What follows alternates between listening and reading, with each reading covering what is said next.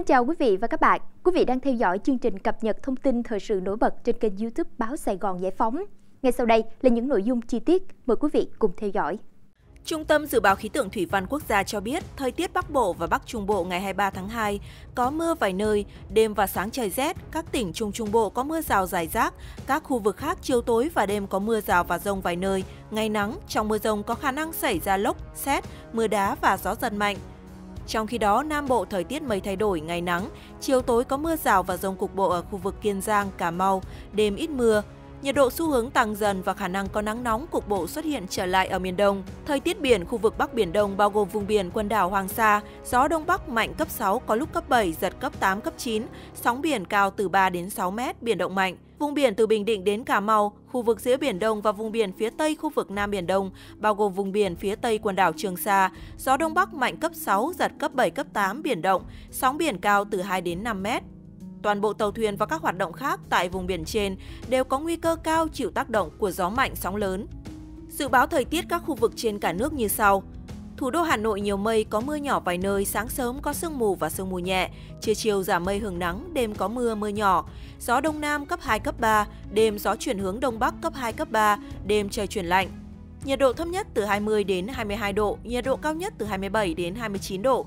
Phía Tây Bắc Bộ thời tiết nhiều mây, có mưa nhỏ vài nơi, sáng sớm có nơi có sương mù, trưa chiều giảm mây trời nắng. Riêng khu Tây Bắc có mây, ngày nắng có nơi nắng nóng, đêm không mưa, gió nhẹ, sáng sớm và đêm trời lạnh. Nhiệt độ thấp nhất từ 19 đến 22 độ, riêng khu Tây Bắc từ 16 đến 19 độ, có nơi dưới 19 độ. Nhiệt độ cao nhất từ 28 đến 31 độ, riêng khu Tây Bắc từ 31 đến 33 độ, có nơi trên 35 độ. Phía Đông Bắc Bộ có mưa nhỏ vài nơi, sáng sớm có sương mù và sương mù nhẹ rải rác, trưa chiều giảm mây trời nắng. Từ chiều tối và đêm có mưa, mưa nhỏ rải rác, gió Đông Nam cấp 2, cấp 3. Từ chiều tối và đêm gió chuyển hướng Đông Bắc cấp 2, cấp 3, đêm trời chuyển lạnh. Nhiệt độ thấp nhất từ 19 đến 22 độ C, vùng núi từ 17 đến 19 độ C. Vùng núi cao có nơi dưới 15 độ C, nhiệt độ cao nhất từ 26 đến 29 độ C, có nơi trên 29 độ C. Thanh Hóa đến Thừa Thiên Huế thời tiết nhiều mây không mưa, sáng sớm có sương mù và sương mù nhẹ rải rác, trưa chiều giảm mây trời nắng, có nơi nắng nóng, gió nhẹ, nhiệt độ thấp nhất từ 21 đến 24 độ, nhiệt độ cao nhất từ 31 đến 34 độ, vùng núi phía Tây có nơi trên 35 độ. Đà Nẵng đến Bình Thuận có mây, ngày nắng đêm không mưa, gió đông nam cấp 2 cấp 3, nhiệt độ thấp nhất từ 22 đến 25 độ, nhiệt độ cao nhất từ 30 đến 33 độ. Tây Nguyên thời tiết có mây, ngày nắng đêm không mưa, gió nhẹ, nhiệt độ thấp nhất từ 19 đến 22 độ, nhiệt độ cao nhất từ 30 đến 33 độ, có nơi trên 33 độ.